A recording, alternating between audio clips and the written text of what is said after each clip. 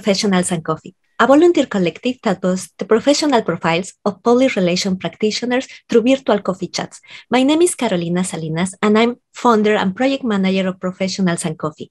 And today I'm so excited to have Austin Fischer, information coordinator of the city of Mississauga. And as our interviewer of Professionals and Coffee, we have Mandeep Singh, an international student from the PR program from Seneca College. Welcome to Professionals and Coffee, and I will now turn over the microphone. It is all yours, Mandeep. Thank you, Carolina. Uh, right, I'd like to introduce uh, Augustine. Augustine Fischer is a communication leader, passionate about storytelling, content creation, and public relation, while driving stakeholder engagement and enhancing brand reputation. He has worked across financial, energy, retail, logistic, and public sectors in Europe, Africa, and North America.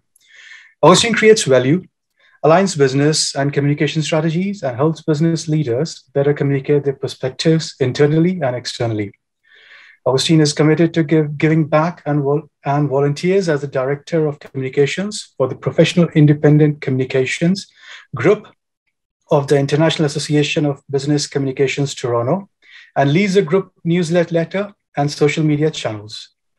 Augustine graduated with an MBA with a marketing focus and completed a graduate certificate in content strategy. Uh, I would like to start by asking Augustine, what interested you in the field of communications? Thank you, Mandeep. Um, and thank you, Carolina, for having me. It's, um, it's an opportunity for me to tell my story. like, you know, I'm passionate about storytelling. So this is, you know, a good platform for me to, to share my story and um, to help others that might be in the same shoes as me um, to navigate through um, the waters in the communications field, especially in a new country. So, um, I mean, what attracted me to the field of communication? You know, I would say that, you know, communication chose me. I didn't choose communication, okay? Because straight out of university, I really didn't know what I wanted to do. So I just got out. I mean, like you noticed, I studied applied economics as my first degree. So I got out of school, didn't really, you know, have an ambition or knew what I wanted to do. But I had a friend that was recruiting for a bank and it was an internship position. So they were recruiting for a corporate communications officer. And then I applied fresh out of school. It was internship. And when I applied to that role, I did my internship for six months and I was like blown away. I was like, wow, this is where I would love to be. And that's how I found myself in communication. Uh, right. So my next question is, Augustine, uh, did you face any challenges landing your first job as a corporate brand manager for First City Monument Bank Limited? I mean, like I said, um, because I had a friend that was a recruiter, um, and then I got into the organization as an intern, it was easy to transit. So in six months, I was able to to prove myself, so to speak. Um, I was passionate about what I did, um, and I was a fast learner. So I learned, you know, how to navigate the waters. I mean, one of the things I did was managing relationships with journalists, and in six months, I was able to do that effectively. That the organization, you know, thought and said it was best for them to retain me. And because I loved what I did, when they offered me, you know, a full-time position, I gladly took it. So it wasn't so much of a challenge because I got in through an internship. That's wonderful. I mean, it does show that, you know, uh, networking does help, uh, you know, to settle and transit through it. Uh, that's wonderful. Right. so uh, my next question is, while you were working for Acorn Petroleum as head of external communications. You started your master's degree in MBA from the from the UK with majors in marketing. I'd like to know how that helped you in communications. An education in marketing. I mean, like I always say, and this is very um, arguable. Um, some people will not agree. Communication is a part of marketing, right? So doing an MBA in you know focus in marketing was all encompassing, right? Um, and I learned earlier on in my career, you know, the, the impact that communication has on a business. So I made sure that I got an MBA in order to align business objectives and communication objectives, right? Um, when you work as a communicator, more often than not, everyone sees you as a cost center, right? They see you that you just spend money. But you know, things are changing. You need to be able to add to the bottom line. You need to be able to contribute to the growth of the organization. And for you to be able to do that, you need to understand business and understand how communication can tie into business. And that's why I went in to get my MBA focused on marketing so I can align the objectives of communication and um, the business such that communication can add value to the organization. Now, it took me a while before I got that MBA because, I mean, first things first, I needed to understand the field of communication. I needed to understand if this was a career um, I wanted to, you know, push forward with, right? So it took me a while understanding the business. Now, like every other profession, you can learn on the job. Okay, so I, you know, did learn on the job. I acquired quite a bit of skill and knowledge on the job but I needed to back it up with an education and being able to understand the business side of things. And that's why I got the MBA at the time I did. Right. Uh, you know, uh, having said that, uh, I can relate what you're trying to say because uh, myself is, you know, from the management marketing background. So now I can relate much more, you know, how effective uh, that, uh, you know, having a degrees in the communication field, yeah. a master's degree in, in management in the communication field is helpful. I can yeah. oh, very well, uh, you know, relate to that. Good. Right. So uh, now you had nine years of experience in the field of communications before you went for formal education in this area. Right. Before, because before you had bachelor's and degree in applied economics. So, how did the experience help you in the course? I mean, the truth of the matter is that when you're taking a master's in business administration, it's it's unlike taking a master's in a specialized field, right? So if it was a master's in communication, um, it would have been different. If it was a master's in marketing, it would have been different. But this was a master's in business administration. Now, in my time, um, for you to go get an MBA, you need a prerequisite number of years working in the field right? Um, before you are even admitted to do an MBA, because an MBA is, you know, termed, you know, a, a program for business leaders, right? So it was beneficial for me to have worked a number of years before I went in to do my MBA. If I needed an education in communication or in marketing, I probably have done, you know, a master's in communication or a master's in marketing, or even maybe a postgraduate certificate in content strategy, which I eventually did um, but I'll have done it earlier on in my career. But why I did an MBA was I was getting senior um, in the corporate ladder, right? I was becoming a business leader, much more than just a communications leader. I was becoming a business leader that was in the field of communication, um, if you know what I mean. So I needed to get a master's in business administration so I can have a full grounded understanding of business. So, in as much as I was the head of external communication with Acorn Petroleum at the time, I was also a management staff that needed to understand business. I needed to understand when, you know, the chief financial officer is discussing finance. I needed to understand when the chief human resources is talking about, you know, people management and things like that. So I needed to understand the full grasp of business. And that was why I went to do my MBA. So of course, you know, it helped me a whole lot because, um, and I remember at the time I was saying to myself, oh, I am becoming senior in this organization, but I even want to become more senior in, you know, more organizations.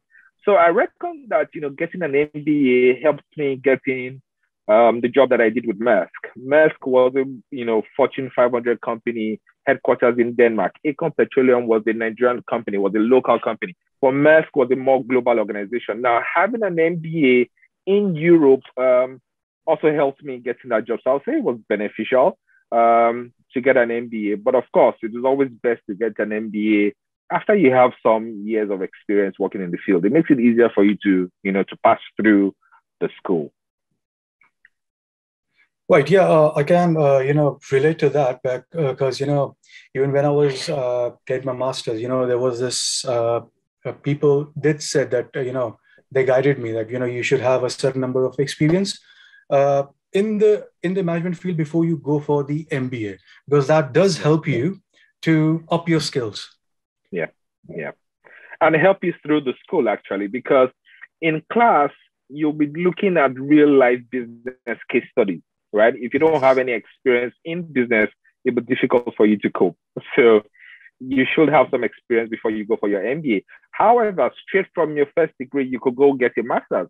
So if I have a first degree in communications, for example, I could go straight up to get a, you know, a master's in communication. It deepens my communications knowledge, right?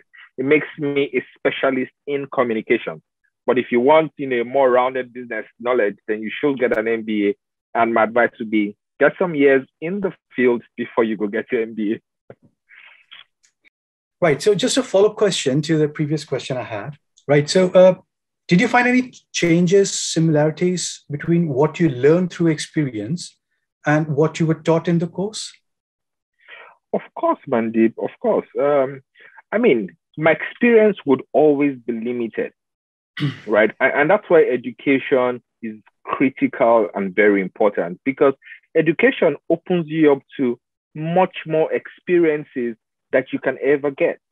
So education would expose you to experience of colleagues, experience of your lecturers, your teachers, and experience of tons of other people that have put it together in a book or in books, right? So education would definitely um, give you much more experience than you would ever get on the job.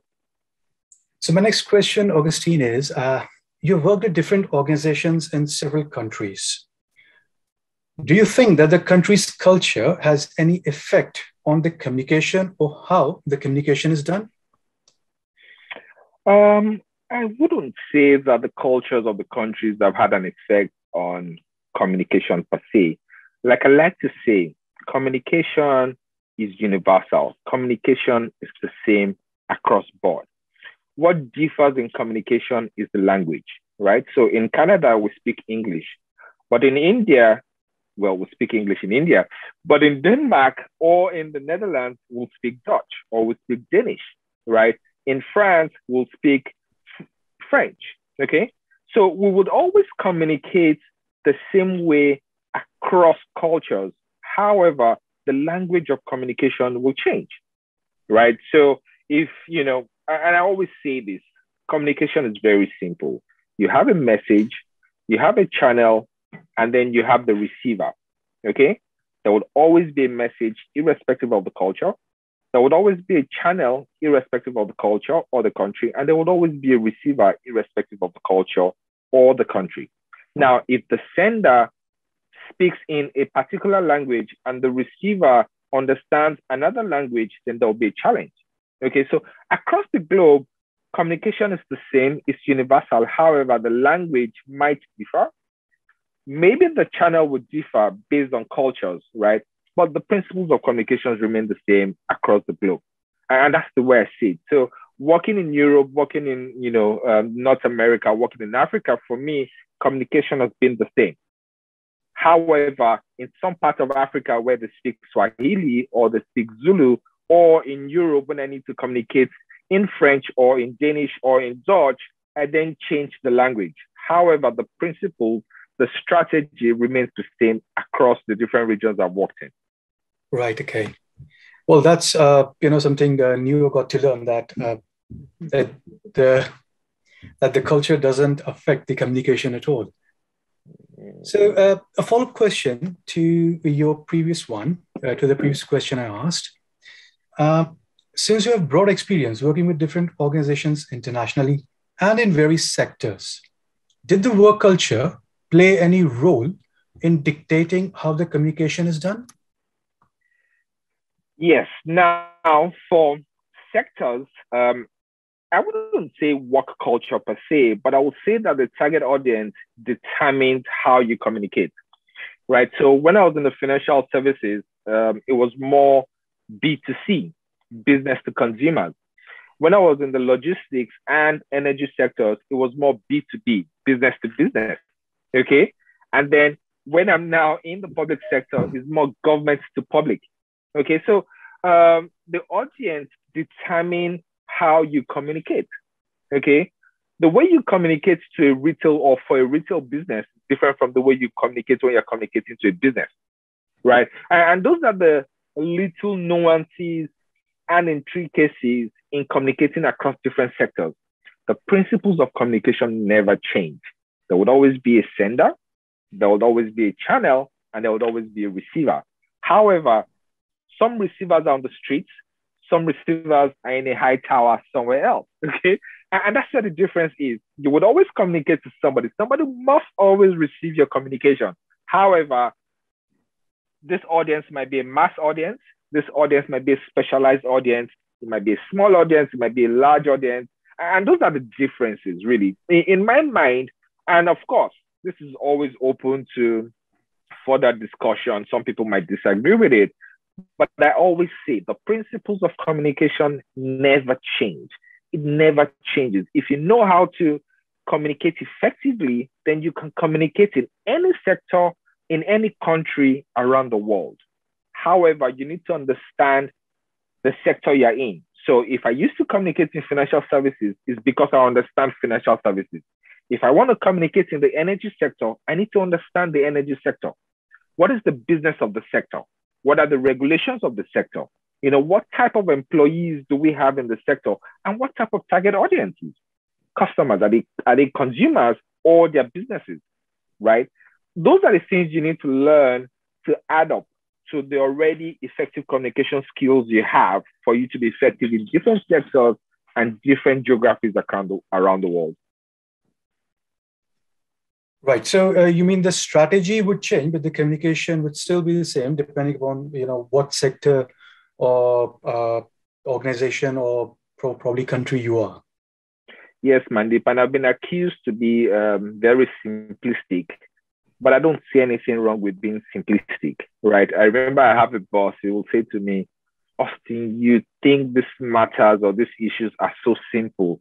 At the end of the day, my simplistic approaches always come to to be the one we go with because things are not as difficult as people say they are okay or as people try to paint it the principles once you have the principle the strategy it is always easy to execute my next question would be uh, would like to tell us what you went through and how you found your first job in communications in canada for rbc or say in denmark for ap moller being an immigrant. and would you like to share some tips for uh, someone in this scenario? Mandy, do you really want to hear the story? yes, please. Right. So um, I'll start with, you know, working with Maersk.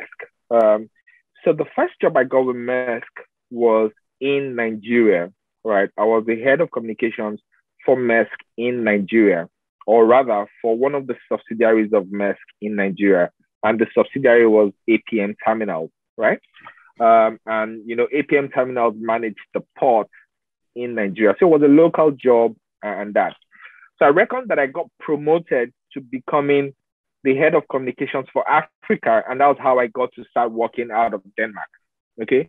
So what I, all I needed then was just a work permit, which was okay. Um, and then I moved in from Nigeria and I started working for Maersk in Denmark. So that wasn't much of a problem because it was within the same organization. It was like a promotion, you know, it was very easy. I already had the job. But when I decided to relocate to, to Canada, um, as against being, you know, someone that has a work permit, I've not become a permanent resident in a totally different country. Okay. Um, I resigned my job from Maersk to start afresh. Now, one of the things that I thought was beneficial for me was to get a Canadian education. Okay. I needed to get a Canadian education such that it can, you know, in my mind at the time, I thought it was going to make up for me not having the Canadian experience, right? That a Canadian education that also had an internship with it uh, was going to help me get into the system. Now, remember, my first job started out as an intern, right? And then I became permanent. So my mindset was go get a Canadian education, um, do an internship, prove yourself, and then they would retain you. Unfortunately for me, um, I graduated into the pandemic, right? Um, and it became more difficult to get a job. I got an internship position, but it was very early on in the pandemic. Nobody was sure uh, what the future was. Um, and unfortunately, I did not get retained. And then I started looking for a job. Now, because there was a pandemic, it became more difficult, but um, people weren't sure what the future held. Okay, people weren't sure, businesses weren't sure Um, and there was some sort of hiring freeze. Now, it wasn't official. People didn't, you know, organizations didn't say, oh, we're not hiring. But, you know, people were being careful with hiring. People were being careful leaving their jobs, right? Um, a lot of people lost their jobs because of the pandemic, and those that had their jobs held on to it. Okay, so there were not much of you know openings, so to speak. So it was a bit difficult getting um, a job after graduating from Humber College um, into the communications field. So, I mean, in as much as I would want to say, like a lot of people say that, uh, you know, when you bring in so much experience from outside Canada, it's more difficult. I would also say that for me, it was during the pandemic. So if I have to be a scientist at this point, I will say that the data is skewed.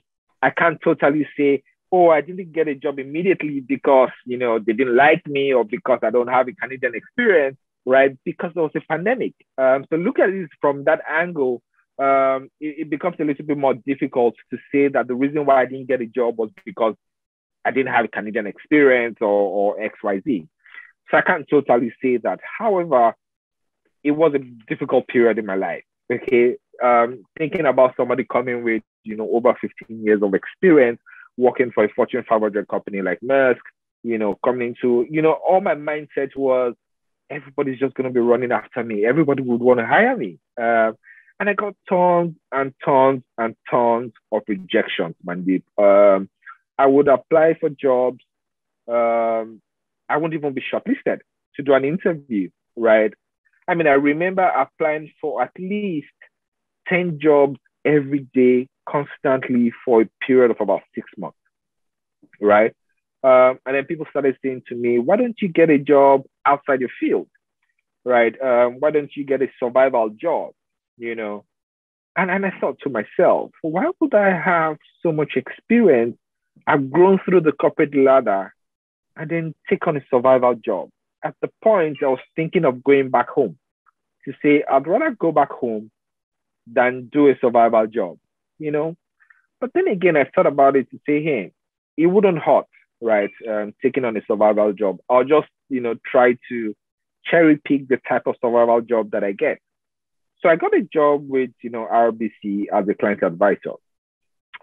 And in my mind, that's a survival job. Some people wouldn't see it as such, but for me, it was a survival job. But I was grateful. I was working in an office. I had a computer, and I had access to, you know, the job portal for the organization. So trust me, um, I applied to a communications job almost every other day while at RBC. Okay. Once I send in an application, I write a note to the hiring manager to say, this is me, I'm a client advisor, but this is my experience, you know. And and to be honest, I got quite a bit of, you know, interviews, right? I got quite a bit of interviews. But from my thinking, um, it was a bit difficult. Now, this was unofficial, but it was a bit difficult to take somebody from an entry level position as a client advisor and make the person a manager or a senior manager or a director because those were the roles I was applying for. I was applying for a manager role, I was applying for a director role, and those kind of things. But it might have, you know, flustered the system in the sense that, you know, somebody came in as a client advisor and became a director in less than a year. Okay. So I totally understood that. Um, I bear no grudges. you know, I, I, totally understood that, you know, organizational structure, organizational culture, and nuances uh, must be brought to book. So luckily, um, I applied for, you know, a job at the city of Mississauga, and here I am. Okay. So I'm totally grateful for, for someone taking a chance on me. Um, and I know that now that I've got into a communications role, I would want always get a communications role because I now have the communications experience in Canada um, that would help me in future. Your story is fascinating, Augustine, and it shows, you know, how uh, resilience does pay off. And yeah. Yes. mm-hmm. So my next question is, uh, would like to share some, it's a follow-up question. So would like to yeah. share some tips on successfully getting the communication field job for someone transitioning from a management marketing background? Number one, you need to know what you want.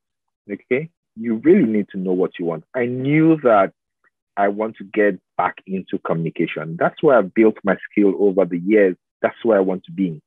I could have built a career as, you know, a, a bank executive, right? I could have started up as a client advisor, become a banking advisor, maybe become a branch manager or an assistant branch manager, a branch manager, and built my career onward from there. Because my managers in the bank saw potentials in me.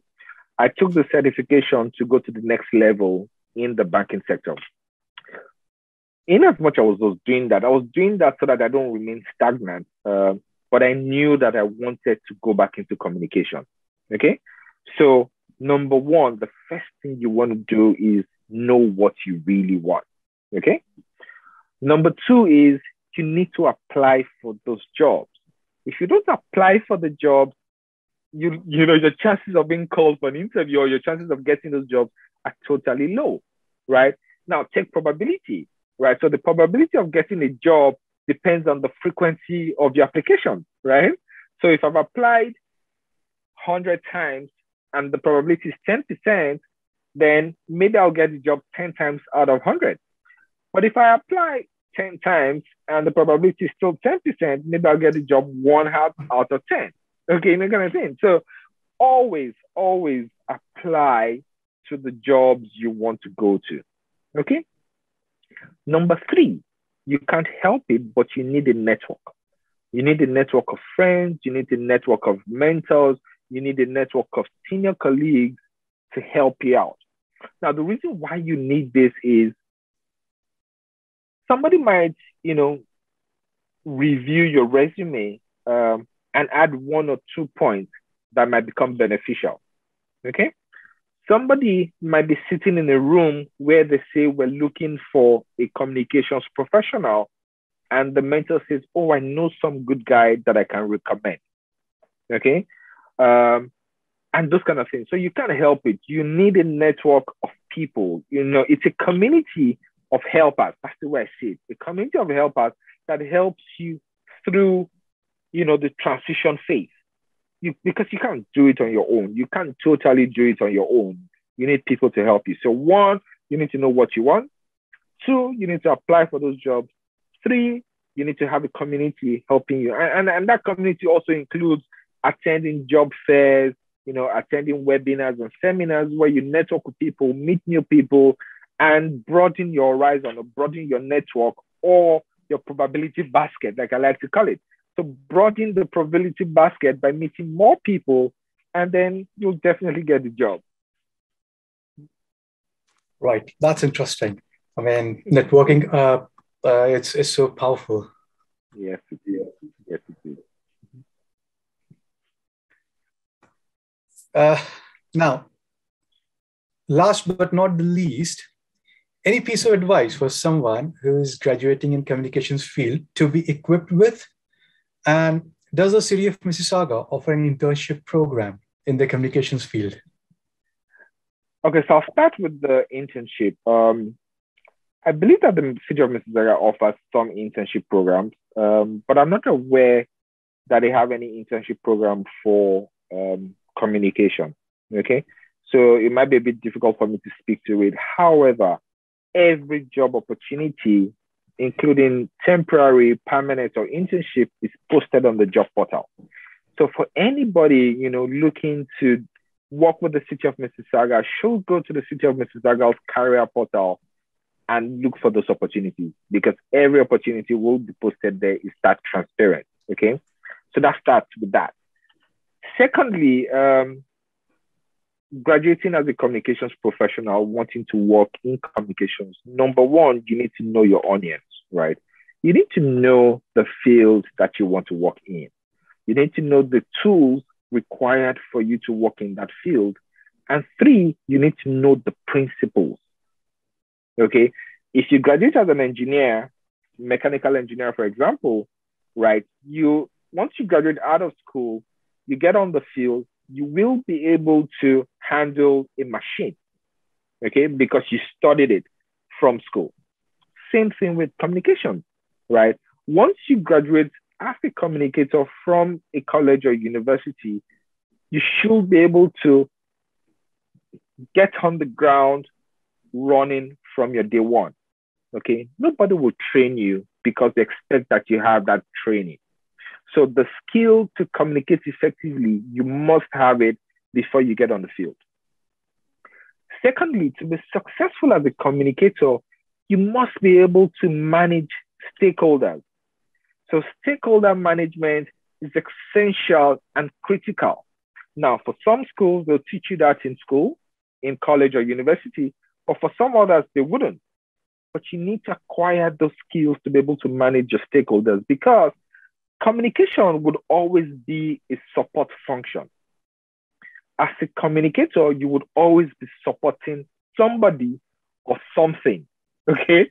You're either supporting an executive, you're supporting a team, or you're supporting a product. A communicator will never be an island. Okay. So if you do not know how to relate to stakeholders, then you're in big trouble. you might have all the skill to be an effective communicator, but if you don't know how to talk to people, how to get people come over and buy them over, uh, that would be a great challenge for you. So you have, must have the skill, and then you must be able to manage people um, to be an effective communicator. Right. Uh, thank you so much, Augustine, for your time, knowledge, and advice. Uh, it has been a very informative session. Uh, that's everything on my end. Thank you so much, Mandeep. I really had a great time chatting with you this morning. thank you, Austin. Thank, thank you, Austin, for, for your guidance. And Mandeep, you did an excellent job. Congratulations. Uh, I, I enjoy a lot this coffee chat. Uh, are there any social media handles that you, Austin, and Mandeep would like to share with our audience? I mean, for me, you can um, hook me up on LinkedIn. Um, that's the best way to, to for us to you know talk about professional stuff.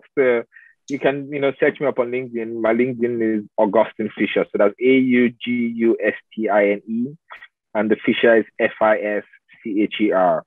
On LinkedIn, connect with me, and I'll be happy to speak with you if you need to. Okay, thank you. And what about you, Mandeep? Yeah, so LinkedIn would work. So uh, yeah, I'll just uh, share the, the, LinkedIn handle with you uh, through uh, through WhatsApp. Okay. Uh, well, thank you everyone and see you on the next Professionals and Coffee chat. Don't forget to subscribe to our YouTube channel and to our social media channels, which are in the description below this video. And please join us to do your own virtual coffee chat like Mandeep just did today. Thank you and bye-bye.